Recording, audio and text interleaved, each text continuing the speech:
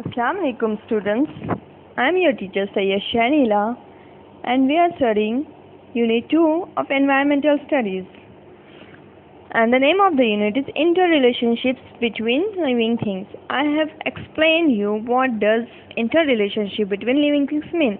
So before starting the unit, don't forget to subscribe our YouTube channel and click on the icon given um, bell icon given below. So let's begin our unit. So we had seen we had seen in, our, in, an, in the earlier videos how plants are useful to us and to animals as well. We get food, clothing, and shelter from plants. Even animals, wild animals, domestic animals, all kinds of animals and insects are dependent on plants for their food and survival. So now we will see how we are dependent on animals for our survival indirectly or directly.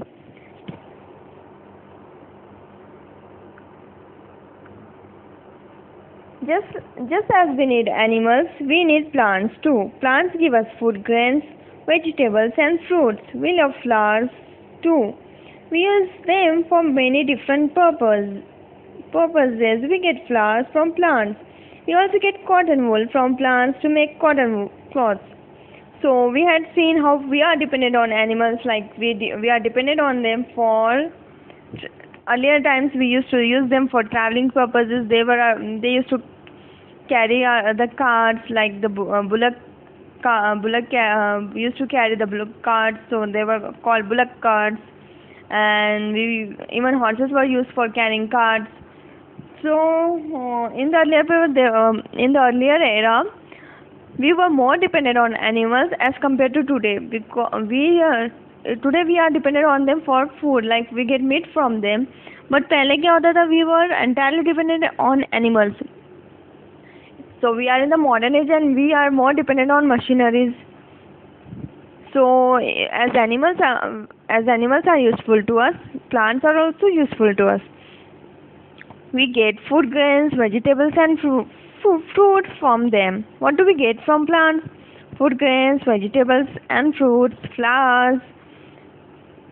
We get we get our need of clothing satisfied from plants. Like we get cotton from cotton wool, and which is uh, which is a fruit of which is which is nothing but a kind of a fruit of a plant. So we get cotton wool from plants and we make cotton clothes from them. We grow plants that are useful to us methodically. We sow seeds, we make sure they, that they give water, we give manure when necessary, we spray pesticides if they are attacked by insects. How do we grow, grow plants?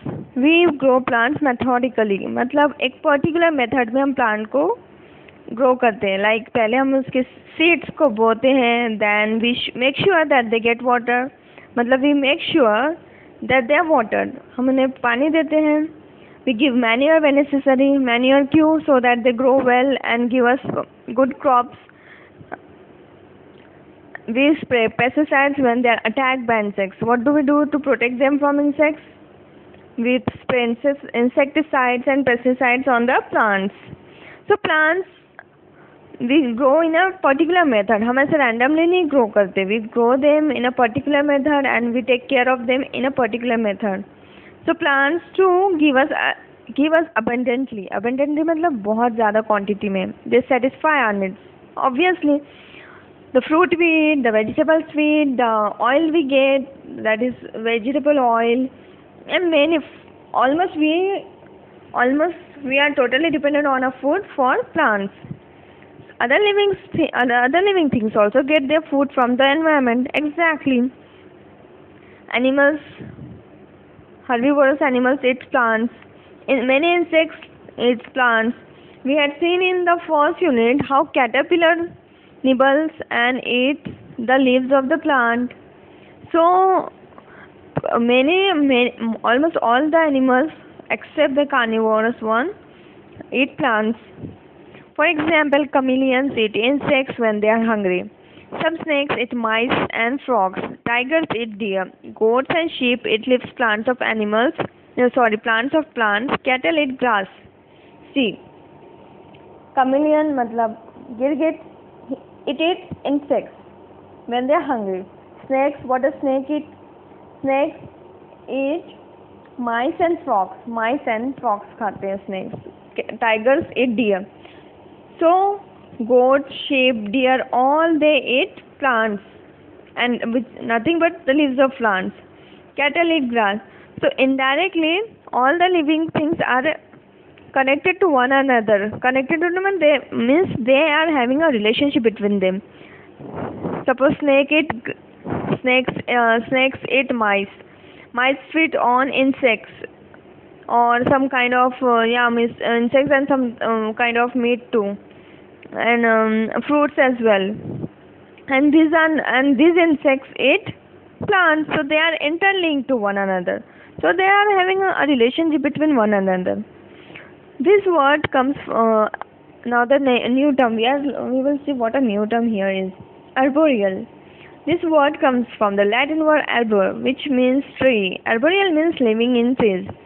So those animals who live in trees are called arboreal animals animals like monkeys and squirrels live on trees it gives them certain advantages being at a height, they are better able to defend themselves from the enemies. Besides, they can eat the fruits of the trees to satisfy their hunger. Such animals are said to be arboreal. Which animals live on trees? Monkeys, squirrels, birds, and many other animals. So what? Uh, what?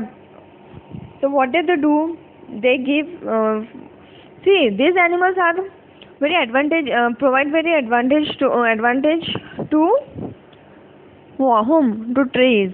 Because they, uh, because this uh, these animals live at a greater height on a tree. And they are able to defend themselves from their predators. Besides they can eat the fruits of the trees and satisfy their hunger. Such animals said to be arboreal Unknowingly, they help the tree with whose support they live. As they move around here and there in the surroundings, they spread the seeds of the fruit they have eaten through their droppings. Because of this, new trees grow in different places. Some types of birds too find trees useful for building their nests. See. arboreal animals का meaning क्या है those who live on trees monkeys and squirrels का example दिया and birds का example दिया यहाँ पे सो so, ये animals see this animals animals के लिए भी ट्रीज ट्रीज एडवांटेजियस है और ट्रीज के लिए भी एनिमल्स एडवांटेजेस है। एनिमल्स के लिए कैसे एडवांटेजेस है? Because they feed on the trees trees अपने खुराक कैसे पूरी करते हैं ट्रीज से। They the fruits of the trees and satisfy their hunger and they defend themselves from their animals उनके एनिमल्स एनिमल्स जो रहते हैं स्क्विरल्स के एनिमल्स बर्ड्स के एनिमल्स वो अपने आप को कैसे डिफेंड करते हैं? By hiding themself inside the trees unknowingly they help the tree with whose support they live. Unknowingly, indirect मतलब इनडायरेक्टली वो ट्रीज को सपोर्ट भी करते कैसे? जब वो कुछ खाते हैं suppose a squirrel eats the fruit of a tree और वो खाते खाते दौड़ रही है तो सपोज़ अगर उसके सीड्स नीचे गिर गए हैं और बारिश हो गई तो वो उसमें से एक नया tree उगेगा।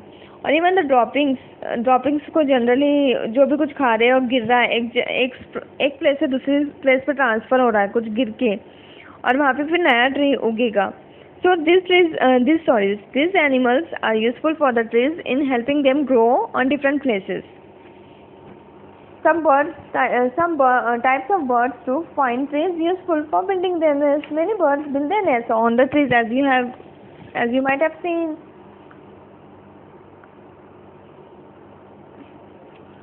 now we will see how the egret how the egret is useful so let's see do you know do you know an egret rides on a buffalo's back सबसे पहले व्हाट इज एन एग्रेट एग्रेट अपन बगले को बोलते हैं white colour का आपने बगला देखा देखा होगा वाइट कलर का bird it's called an एग्रेट when a when a buffalo is grazing in a grassy area you are very likely to see an egret riding on its back what could be the reason for that They, uh, they are asking a reason behind an egret sitting on the back of a buffalo उसका reason क्या है एग्रेट क्यों buffalo के पीठ पे बैठा होता है और उसके सर पे बैठा होता है as you can see in the picture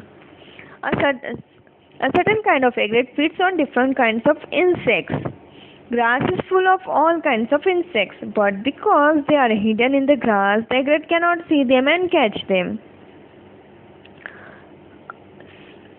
Certain kind of egrets feeds on different kinds of insects. What does uh, an egret eat?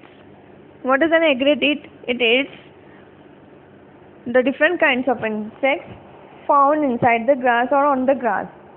जो ग्रास में छिपे हुए कीड़े मकोड़े होते हैं वो बगला खाता है तो क्या होता है बग, आ, अपने देखा है कि एग्रेट विच इज़ अ बगला sit on the back of a buffalo buffalo के बैक पे या हेड पे बैठा होता है।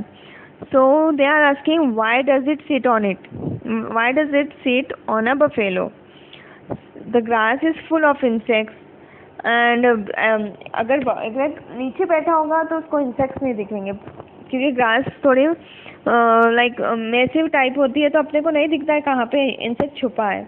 अगर वो हाइट से देखेगा तो उसको इजीली दिखेगा। So for that purpose it sits it sits on the back of a buffalo.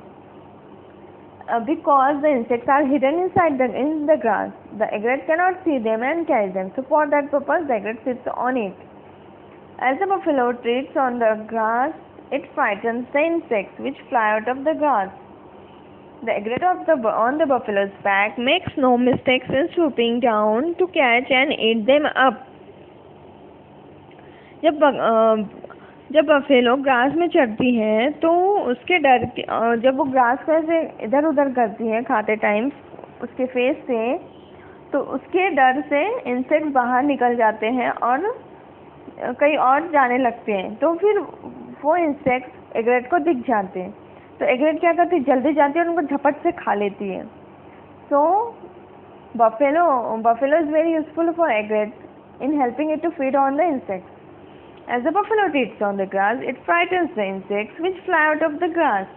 The egret on the buffalo's back makes no mistake in swooping down to catch and eat them up. I hope you have understood. सबसे पहले क्या होता है An egret sits on the back of a buffalo. Why does it sit? In order to see the insects which are hidden in the grass. and uh, when the uh, when the uh, buffalo treats on the grass it frightens the insects and इसका you, इसका फ़ायदा कौन उठाता है? एगरेट एगरेट जल्दी से जाता है and it sweep sweep down to catch and eat the insect now we will see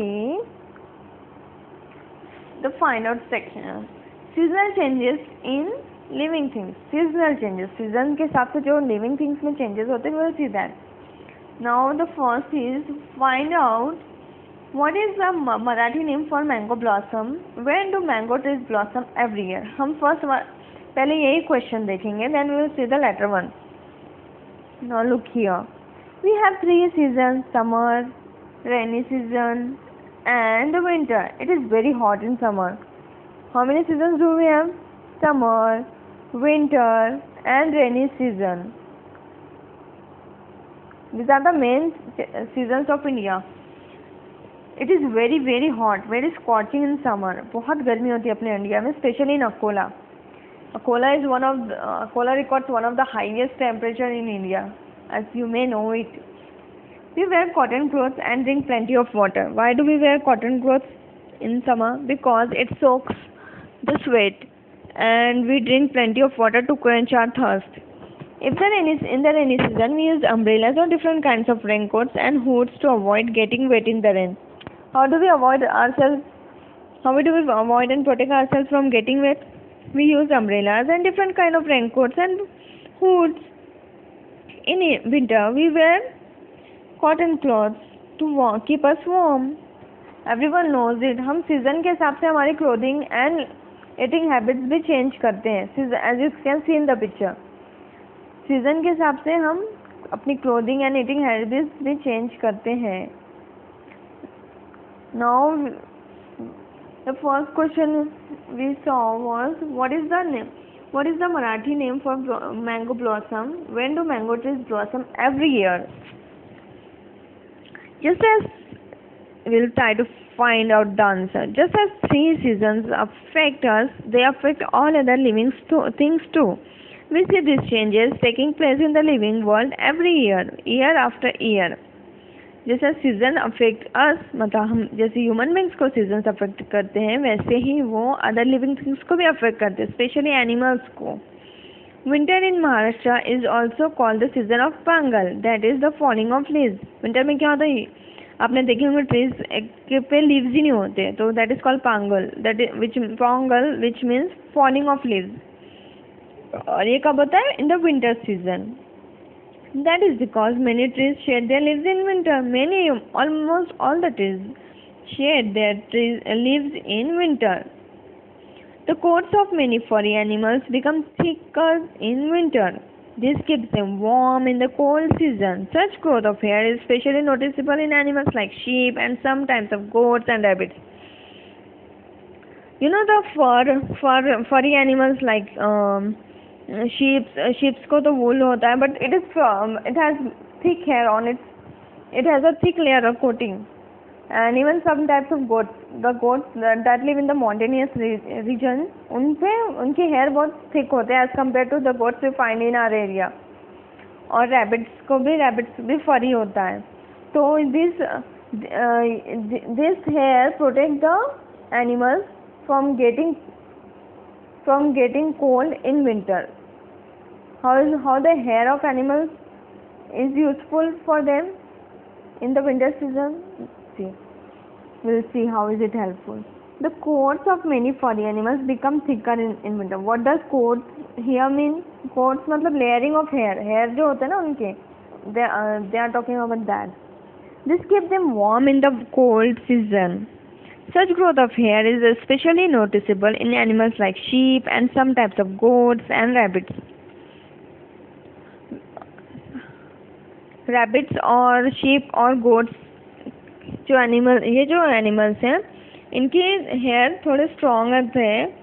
In the they automatically get stronger and thicker in winter because this the layer of hair help them and protect them from the extreme cold season the end of winter is also the time for the mango trees to start blossoming blossom मतलब जब जब mango trees पे छोटे छोटे फूल आने लगते हैं, जिसमें से कैरी बनती है, कैरी निकलती है बाद में, उसको बोलते हैं ब्लॉसमिंग दिज आर कॉल मोहर in Marathi as you can see in the picture you can see here in the picture is call मोहर the end of winter is also the time for the mango trees to start blossoming this blossoms are call मोहर in Marathi at the end at the close of the month in of February it becomes warmer by March, we begin to feel the heat. It's for summer, it's time for summer.